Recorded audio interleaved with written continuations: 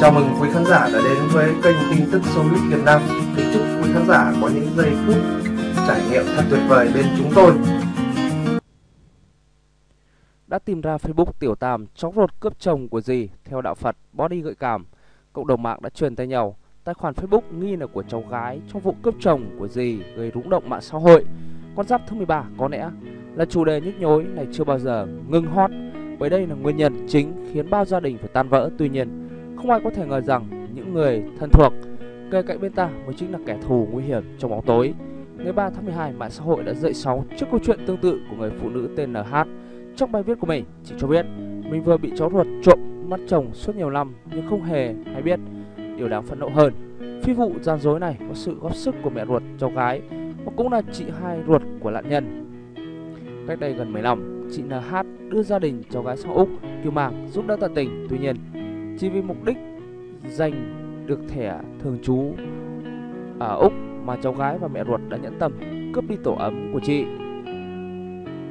Nguyên văn chia sẻ của chị Hát như sau Gửi con cái cũng là người tình của chồng mẹ. Ai nhìn mặt tôi cũng nói rằng Ai dám lấy chồng tôi, ai dám giật chồng tôi. Chỉ có con đường chết Chồng tôi uống mật gấu cũng không bao giờ dám tạo phản. Trên đời này người ta bị con giáp 13 giật chồng. Với tôi thì khác. Tôi phải nói là bị ăn trộm chồng Chồng tôi hiền lành Cả thế giới gọi ông là Phật sống, sống đạo đức. Chỉ biết vợ con là niềm vui của cuộc đời. Đến một ngày đẹp trời tôi phát hiện ra Chồng tôi bị đứa cháu tôi cưng như trứng Mang từ Việt Nam qua nuôi từ 6-7 năm tuổi. Nó ăn trộm mất Tôi bị đứng hình nhưng không bị đột quỵ Mà mất 5kg trong vòng một tuần Không ăn uống được. Chỉ khóc rồi uống nước mà sống Rồi ra đường ai cũng khen đẹp. Bị một số người nói bỏ chồng vì bóng Bị cháu ruột trộm chồng đi, Đến một ngày đẹp trời khác phát hiện ra mẹ ruột của cháu mình, Tức người chị hai. Kính yêu là kẻ đằng sau câu chuyện ngoại ứng, lội hiệp để con gái cướp đi tất cả của em gái mình, chỉ vì muốn được cái bia ở lại Úc. 10 năm lấy nhau tới nay, nuôi hai con, ong trong tay áo, quá lợi hại.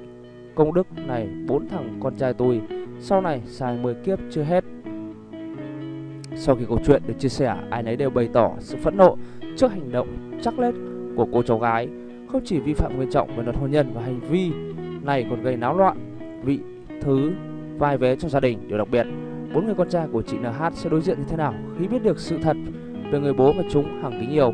Phải chăng khi đối diện trước nhu cầu ích kỷ của cá nhân, người trong cuộc có thể bất chấp mọi thứ, không dừng lại ở những bình luận ném đá? Cư dân mạng đã nhanh chóng tìm ra Facebook của nữ chính đóng vai Tiểu Tam. Hiện mọi thông tin đã đều được chủ tài khoản khóa lại. Tuy nhiên, cô nàng vẫn sơ hở để lộ nhiều bức ảnh đi viếng chùa, tham gia gia đình Phật tử tại nước ngoài